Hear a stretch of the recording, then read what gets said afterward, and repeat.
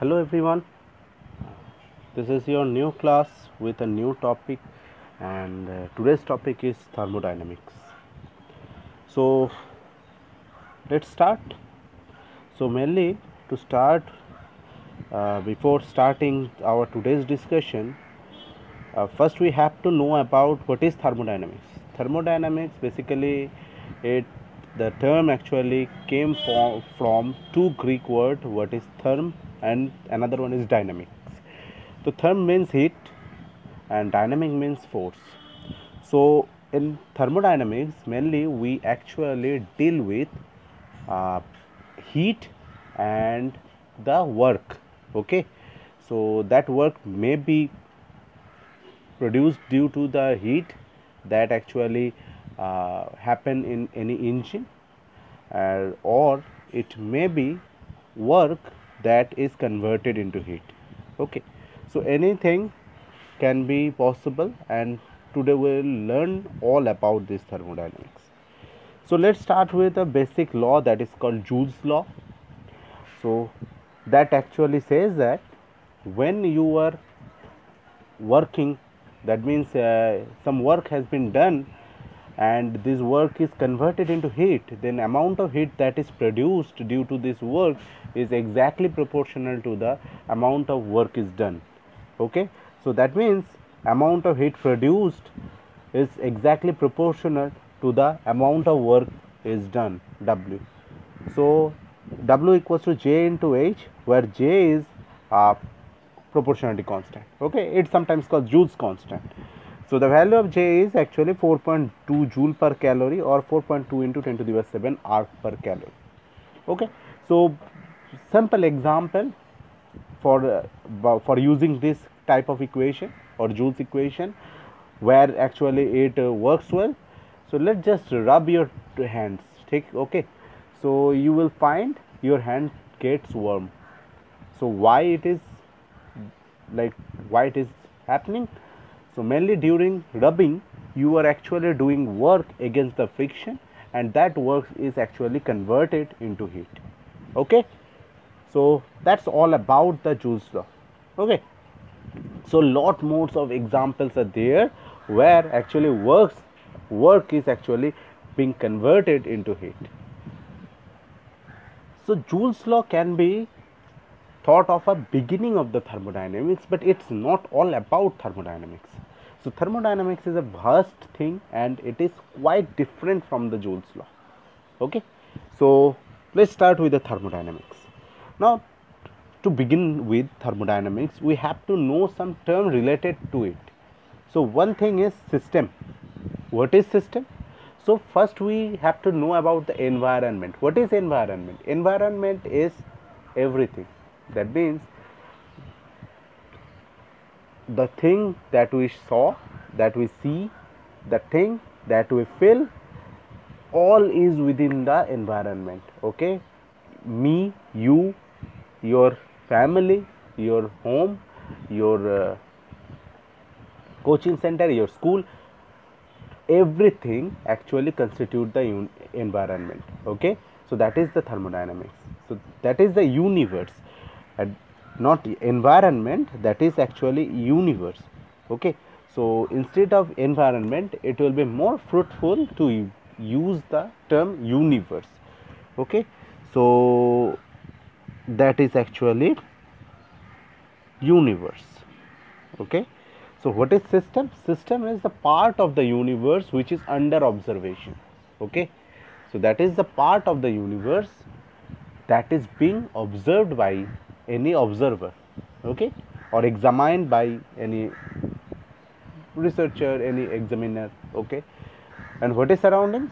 Surroundings is except the system anything inside the universe is referred as the surroundings okay.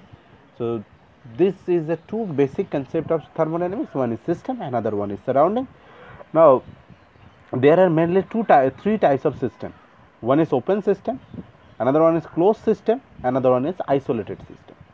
So this this actually classification is based on the energy mass transformation or energy mass exchange okay? So first one is open system. Open system is a type of system that can actually exchange mass and energy with the surroundings. Like you are boiling a water in a open container okay? That means the vapor is produced is actually trans transported to the environment or transported to the surroundings.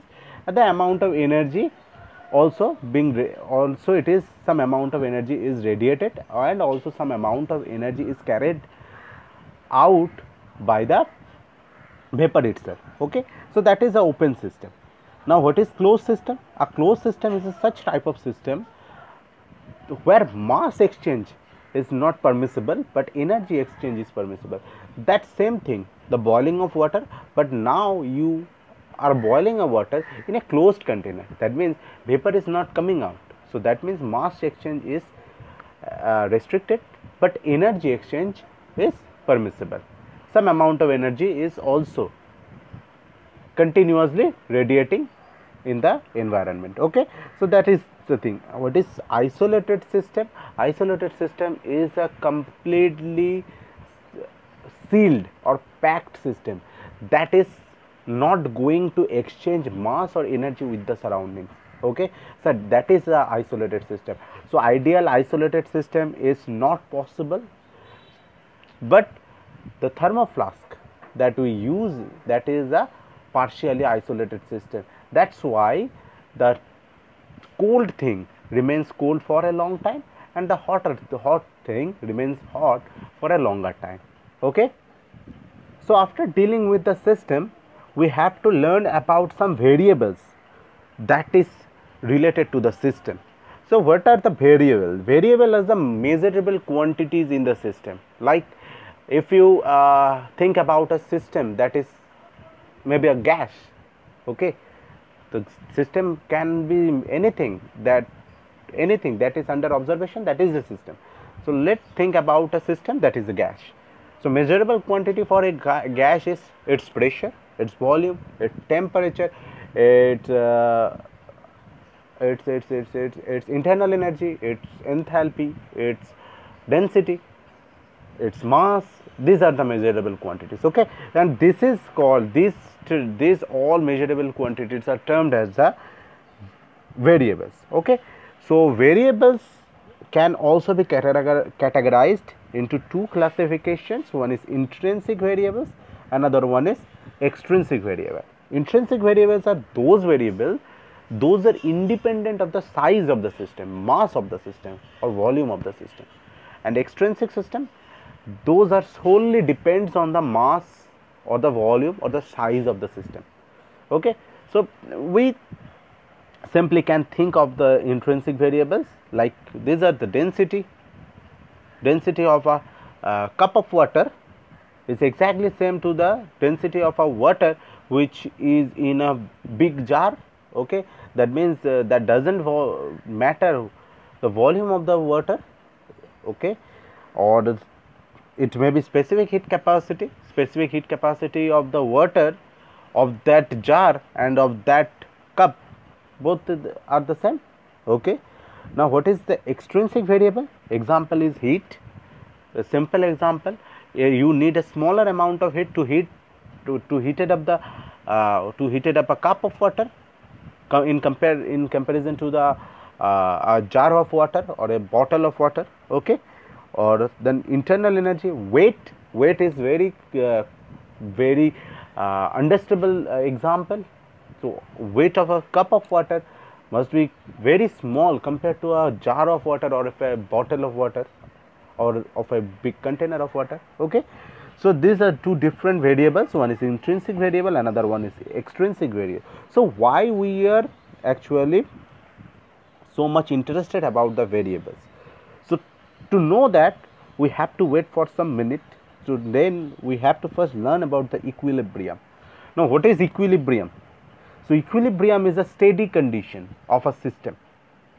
Steady condition means the variables in the system is not changing with time. That is called equilibrium. Okay? Those variables are fixed with time. That is called the equilibrium. Okay? So for thermodynamics we consider three type of equilibrium. One is mechanical equilibrium second one is chemical equilibrium and third one is thermal equilibrium. Now what is chemical equilibrium? Chemical equilibrium sorry first one is mechanical equilibrium. So what is mechanical equilibrium? It is all about mechanical forces that is applying on the system. Those are applying on the system. So this is all about these things. So what is mechanical equilibrium? Mechanical equilibrium means the system doesn't have any kind of unbalanced force on it. That means if there, there there may be force present but that force must be balanced. That means the system must not have any kind of acceleration or any kind of deformation. Okay? That is all about the mechanical equilibrium. So that means the system must have balanced force. That is the condition for the mechanical equilibrium. Okay? Now what is this chemical equilibrium? Chemical equilibrium has a condition. So that is the system must possess the mechanical equilibrium. Okay?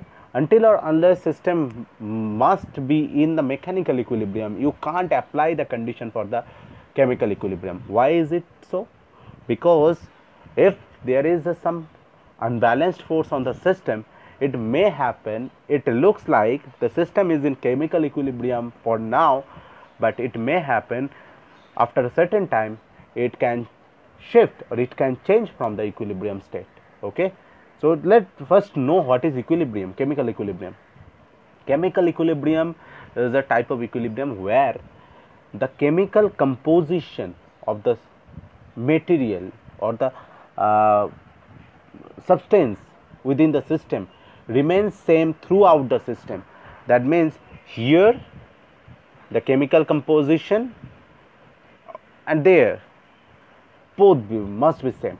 Okay so that is the chemical equilibrium. So what is the chemical composition? That may be composition mixture the ratio or the maybe it is density. Okay so that may that is the chemical equilibrium. Uh, if the system is not in the mechanical equilibrium. It may happen due to the application of the pressure or due to application of the unbalanced force. Certain portion of the system must get the higher density certain portion must get the lower density. Okay. So that means to attain the chemical equilibrium condition of the mechanical equilibrium must be hold. Okay. And the third condition is thermal equilibrium. Thermal equilibrium has two constraint system must be in mechanical equilibrium as well as chemical equilibrium if then the temperature of the system remains constant with time. That means system is not exchanging heat with the surroundings with time.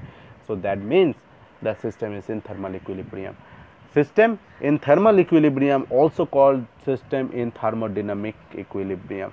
That means the system in thermal equilibrium actually possesses thermal equilibrium chemical equilibrium and mechanical equilibrium as well okay?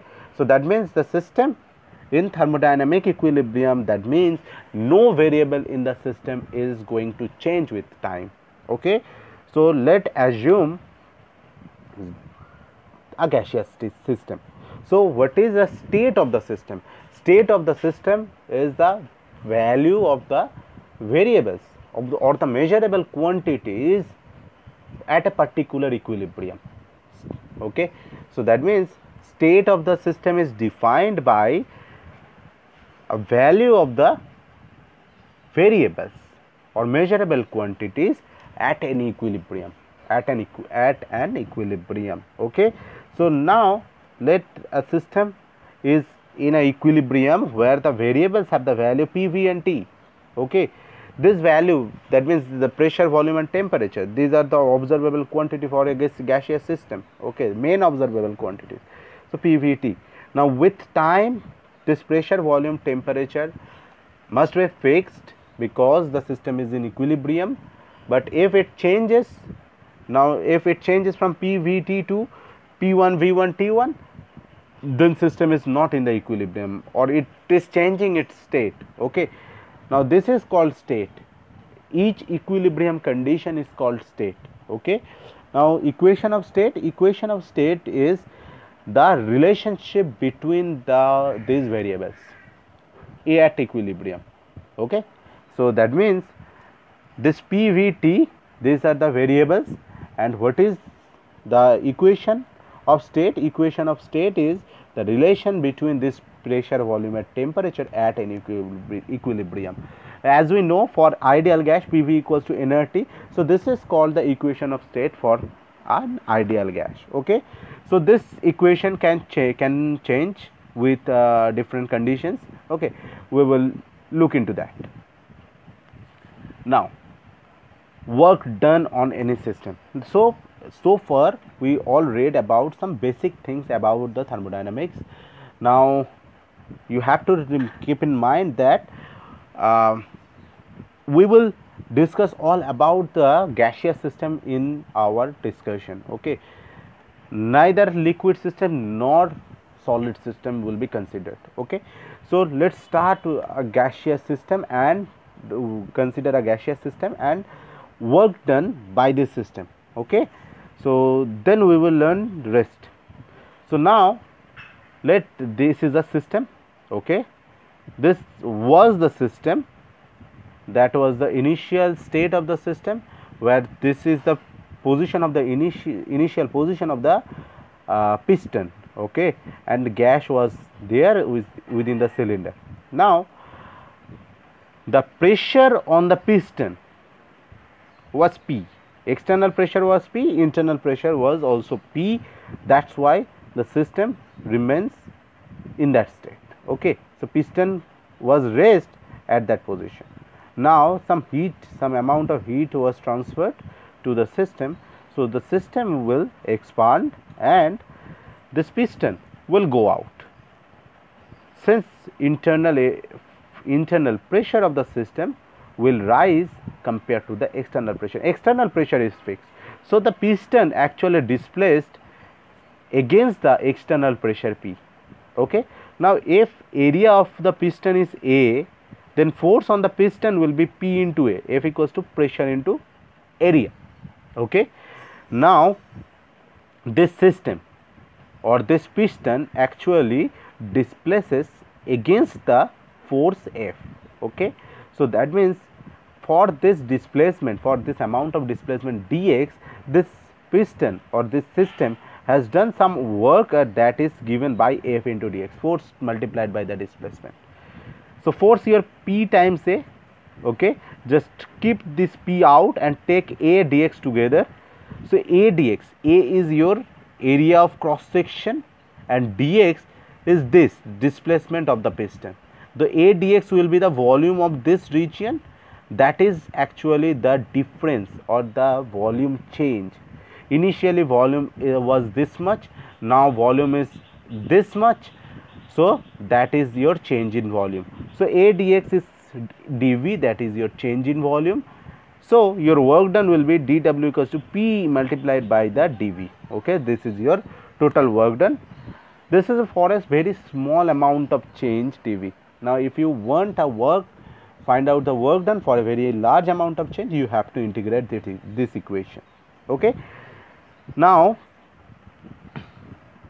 internal energy. This is another term related to the system. This all terms are related to any system. These are the thing that a system can do or that a system can have. Okay? So what is internal system? Now we have considered our system is a gaseous system now, for a gas, as we know, the atoms are not in rest, rather, they are moving uh, with a very high speed. Okay, and the motion of the atoms are very random. That means one atom is going towards east another one maybe towards west another one is moving towards south another can move towards some other direction so that is very random in nature okay so if these atoms are moving that means they have some kind of kinetic energy. Okay so so that means every atom in the gas must have some amount of energy. So total system that means total if you add energies of each and every individual each and individual atoms you will get a total amount of energy and that amount of energy is actually uh, possessed by the system. So, the system actually have that amount of energy. So, that is called internal energy. So, internal energy is actually the sum of the total energy of each atoms. So, that means this is your internal energy. Now, for ideal gas as you know uh, for ideal gas the interaction between atoms is not possible that means it is our consideration. So, there is no interaction between atoms for uh, ideal gas. So, that means uh, there is no attraction force or repulsion force between atoms. That means there will be no uh, potential energy. Since potential energy always comes due to any kind of force field. That means if there is no force acting on any object there will be no potential energy on the object or in the object. Okay? So that is the thing. Uh, so that means for ideal gas gas atoms can only have the kinetic energy not any kind of potential energy. Okay? And we will see it later the motion of any gas atom is actually depends on its temperature or its speed. Speed of each gas atom is actually proportional to the root of the temperature. So c is the speed of the gas atom. It is it's not speed it is rms velocity that is root mean square velocity we will learn it later is proportional root of t. That means it depends on the temperature only. So that means the for ideal gas since the gas atoms only has the kinetic energy and that motion is completely related motion sorry motion of gas atoms actually depends on the temperature. So that means the kinetic energy is only function of temperature. So internal energy for the ideal gas is only depends on the temperature of the gas system. Okay? But for the real gas real gas the atoms of the gas has a minimum amount of interaction. So that means they has a force of attraction between them. That means each and every atom has some amount of potential energy together with the kinetic energy. So, kinetic energy it is a function of temperature. Now potential energy. Now potential energy is all about the force of attraction between the atoms. Now if the distance between the atom decreases or it distance between the atoms increases that means the interaction will change and that will that has an effect on the potential energy. That means potential energy of the atoms actually changes with their relative position. That means the distance between them. And distance between them distance between the atoms can be changed by using the pressure or by changing the volume. So that means the potential energy is a function of pressure volume as well temperature because that temperature actually uh, changes the motion that means that can change the relative position of the atoms as well. So, that means kinetic energy is only function of so that means the internal energy has two components one is kinetic energy another one is potential energy kinetic energy only depends on the temperature but potential energy now depends on pressure volume and temperature so as a whole the internal energy of a real gas system depends on on the three variables that is pressure volume temperature. Okay? So we have learned about all things that we should know to learn the first law of thermodynamics. So that is first law of thermodynamics actually states that if a system got some amount of energy dq get some amount of heat dq so that heat actually used in two way. First a part of it a part of it is used uh, to heated up the system. That means to increase the internal energy. And another part of the heat actually is used to do some amount of work. So, that means if you have a system this is a system you have a system and you have given an amount of heat dq to it. So, this amount of heat actually system use this heat in two different way. Okay. A portion of the heat is used to heated up the system that means to you increase its internal energy and another portion of the heat is used to do some amount of work so that means total amount of energy heat is if we if the amount of heat is given to the system is dq and change in internal energy that means increase in internal energy du and work done is dw. That means this two thing has came from has come from this dq as well. So that means dq is actually du plus dw okay? Uh, so that means this is a simple simple this is very simple and it is actually conservation of energy. So first law of thermodynamics is actually conservation of energy. Okay? Now as we know dw is your pdv so that is the another form of first law that is dq equals to du plus pdv okay? That is all about the first law of thermodynamics. So this is all about today's class. Now in our next class we will learn about uh, some different uh, specific heat capacities of uh, gas of any gas and then we will learn about uh, different type of processes. Okay. So thank you